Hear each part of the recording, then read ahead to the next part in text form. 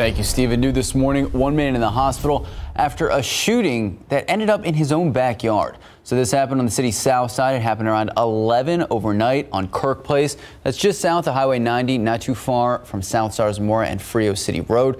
Police tell us an 18-year-old was in his backyard. That's when he heard a gunshot and then he was hit in the arm. He was taken to the hospital. He is expected to recover. Still, though, investigators trying to figure out where the gunshot came from. The victim says he believes it could have come from the highway.